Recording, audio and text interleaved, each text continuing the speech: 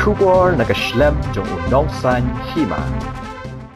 UMLA ke South Shillong constituency uba Sanbor Shulai habe ye keren bat kilat pathai Kubor mentaka sengi ke shipoltri ujele arajar arpusau ulaong balada pai ke election MP ke bala Deb House nam arajar khat kendai ke seng BJP kala penyang la ukurtong na Shillong parliamentary constituency bat kalawan ke kerdan ke balai kat banatura parliamentary constituency ka agatha sangma kala job da ka bayo khambon ki vote.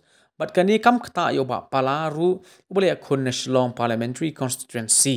Henry menta usnam amla ban tip ye kaching pen bet jong ki bor bahalor ka bjp na new delhi. Ha ka ba ka por ka ba khaddu la pen mi ye ka hukum ban ai ka jing kershan ya ke npp Haga bade ba jing sharem jong ke NPP namar ba ajing kershan ke BJP nakaliang no aktin jong ke seng ba Maria Hom Karkrang ula benrap de ka baong bakalong ko bamla ban pediang. Namar ba ke NPP kala don lang bat ke NDA ne do ko pasdang ya ke sarkar haus nam arajar khat khandai bat ke NPP ke dairu ke benta jong ke neda. Par ba Karkrang lo ong ba da da dai ha ka ta ka nongrim ba ke NPP ka rem dai ne ka daw ka jing kershan jong ke BJP ke NPP kala dai ban remru hake election MLA jong snem arajar arpulai. Yeah, what I can see is that in 2019 the BJP has nominated its own candidate. So the BJP has contested at its own. And uh, the BJP has secured bronze medal. At least they have uh, got an opportunity to stand in the victory stand. Uh, gold, silver and bronze. So it did, it did not affect the seat also where uh, Sister Agatha, she won with a huge margin.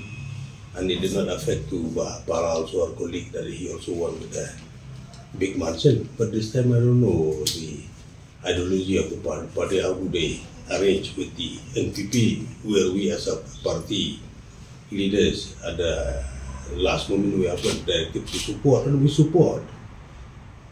And uh, support and the PGP did not uh, nominate any candidate.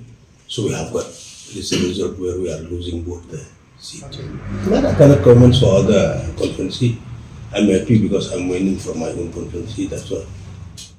A lot of things have come out that is because of the uh, support of the BHP has led to the NPP that uh, they have lost both the seats. I totally disagree with this.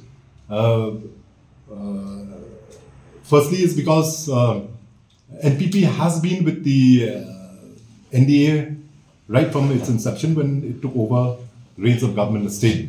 And it is for everybody to see it. And uh, uh, they also part of the NEDA. So if uh, you go by that logic, that uh, NPP lost because of the BJP support, then they should have lost in the 2023 MLA elections also. So here I think so you'll have to ask the NPP leaders, probably by now they must have, uh, uh, you know, introspected as to where they went wrong. But uh, to directly say that is because of BJP support, I totally disagree with it.